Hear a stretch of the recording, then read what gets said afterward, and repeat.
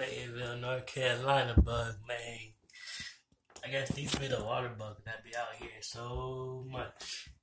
They try to say it's not cockroach, but the motherfuckers look just like cockroaches. Not to mention online it says that they're in their breed or their pedigree. Nasty ass shit.